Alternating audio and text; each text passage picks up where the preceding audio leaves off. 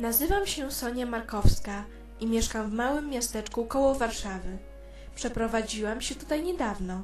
Mam 19 lat i kochającego chłopaka Michała, który pracuje w Warszawie. Mieszkamy razem, ale Michała często nie ma w domu. Pracuje jako menadżer gwiazd filmowych i nie zawsze ma czas, żeby na nas wrócić do domu.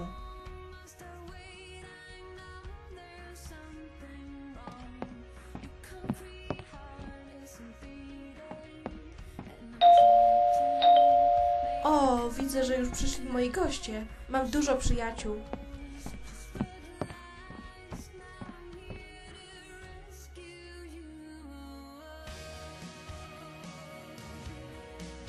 Więc podoba Ci się w nowym domu? Co mi się może nie podobać? Nareszcie mamy porządny dom, a nie małe mieszkanko. Wcześniej mieszkaliśmy w niezbyt ciekawej dzielnicy Warszawy. Dużo dziwnych ludzi się tam kręciło. Z Eweliną przyjaźnimy się już od gimnazjum. Ewela zawsze dużo gada, ale w zasadzie ja tylko jej przytakuję.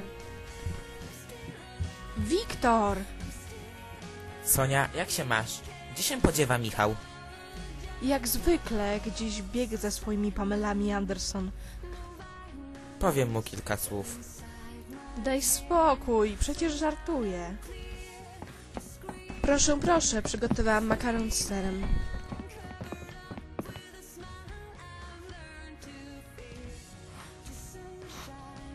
Niech was pozory nie mylą.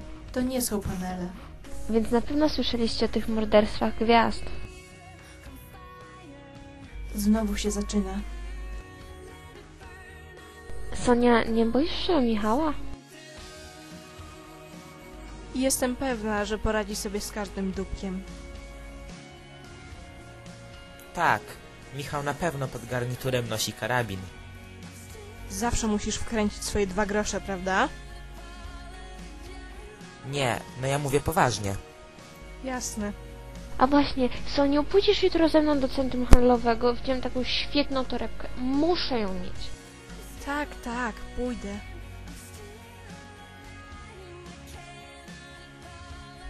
Więcej już nie poruszaliśmy tematu morderstw. Dla mnie to było zdecydowanie dziwne. Kto do cholery morduje znane osoby w biały dzień? Pewnie jakiś psychol, powiedział mi głosik w głowie. Zapewne tak.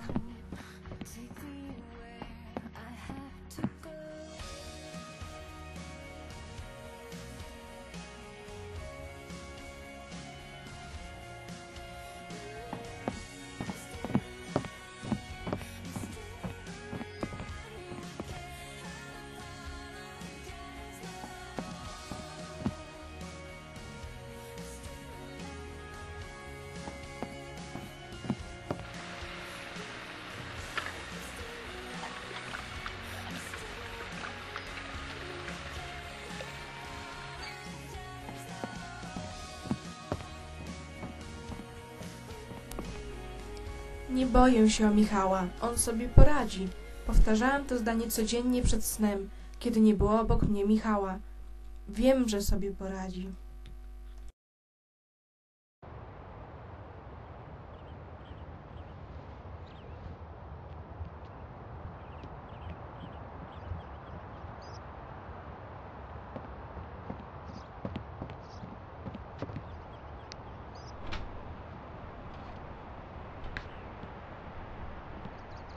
Wczoraj zamordowana została następna sława. Morderca zaatakował w okolicach kina Klaps. Menadżerem gwiazdy był Michał Rabkoński, który powiedział do kamery kilka słów. Rabkoński mówi, że zostawił gwiazdę tylko na chwilę, aby załatwić w kinie bilet na premierę. A kiedy się obrócił, Zuzy już nie było. Dodał również, że ochroniarze czekali na nich w środku budynku. Soniu, to jak? Na którą się umawiamy? No, nie wiem, dwunasta? Okej, przyjadę po ciebie. Ewelina była jedną z tych szczęśliwych posiadaczy wynalazku nazwanego autem.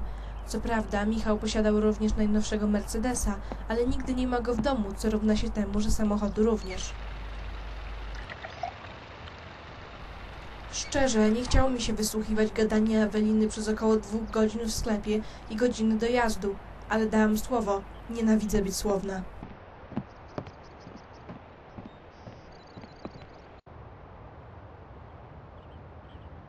No to hop. Chyba nie masz nic przeciwko kupieniu sobie kilku nowych ubrań. Te spodnie masz jeszcze od pierwszej klasy gimnazjum. Lubię je. Wrzuć na luz. Aha.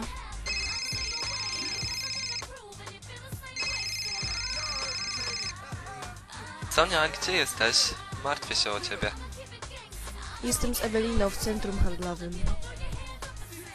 Wracaj szybko. Przecież wiesz, że teraz na ulicach nie jest bezpiecznie.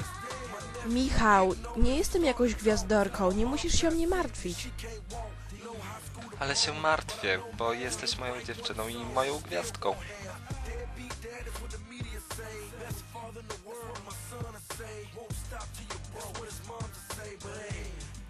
Kto to? Michał, chcę, żebym wracała do domu. Nie, dopiero przeszłyśmy.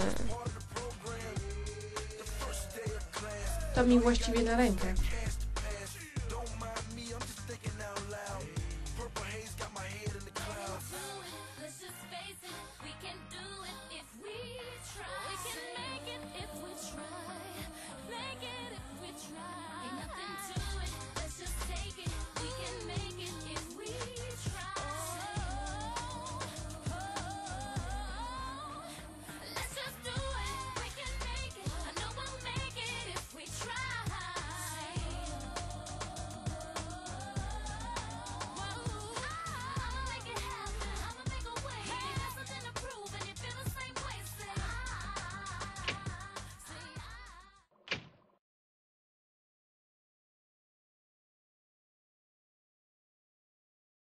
Nie kupiłaś torebki. Patrz, rzeczywiście. Nie mam już na nią pieniędzy. Kurczę. Znajdziesz taką samą gdzieś na bazarku.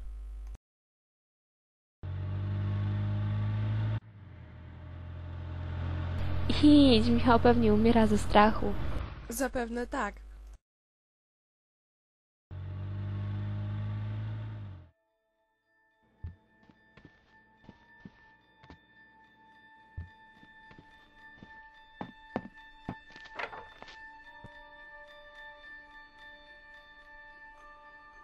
Michał?